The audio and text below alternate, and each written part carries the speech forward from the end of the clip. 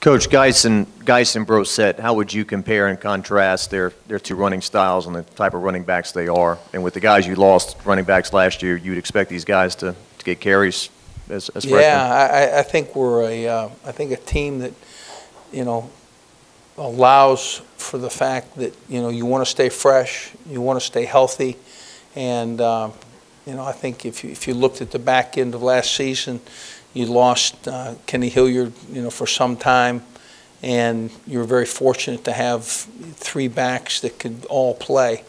And, um, you know, I, I think that that is a, a very quality recipe for us. And I think we're, you know, a very talented group of backs and, you know, who's got the hot hand and who's going to go. I think the contrast of styles is good.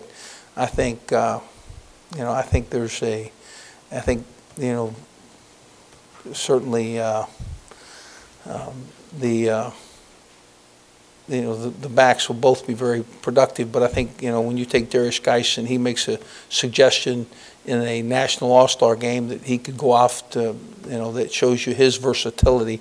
And Nick Brossette is as, as steady and productive as there is. So, you know, I'm uh, very optimistic about both. Did you see guys catching or running?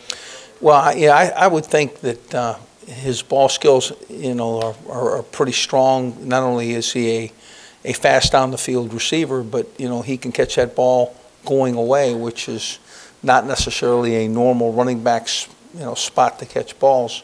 And I think that that's a, uh, I think it's an advantage for him, and I think it's something that we'll have to take advantage of.